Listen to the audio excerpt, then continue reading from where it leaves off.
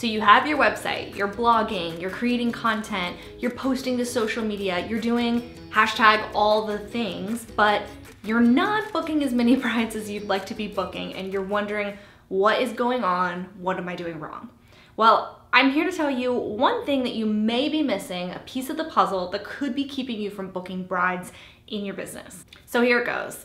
Your messaging might not be clear.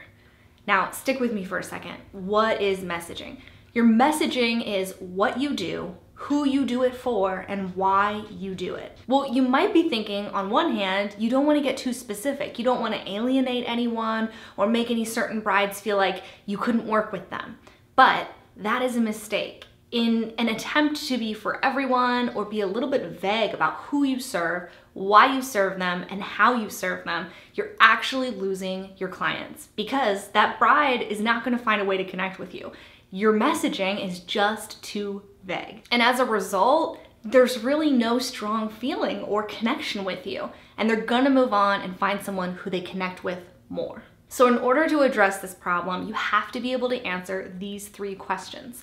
What do you do? Of course, photography, but what problem are you actually solving for your brides? What pain point are you addressing? What's your area of specialty?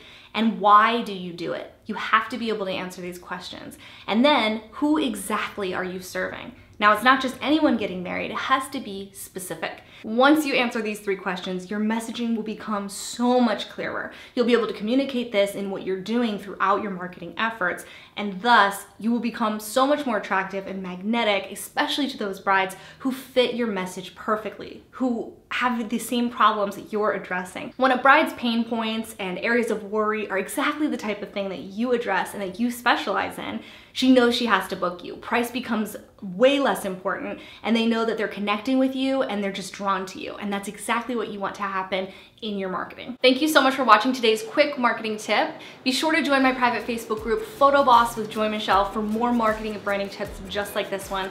And I'll see you next week. Bye guys.